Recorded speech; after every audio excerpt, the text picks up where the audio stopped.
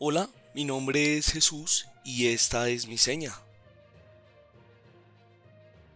Me encuentro en Barranquilla.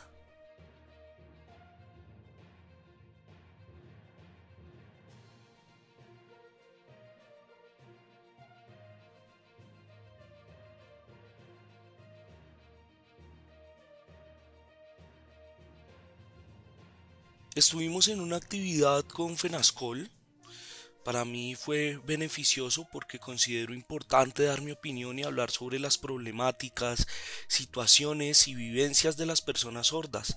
Hacer este proceso de catarsis y que ojalá desde Fenascol se analice todo esto visto como un tema de suma importancia para hacer incidencia frente al Estado y en todo el país para conseguir logros.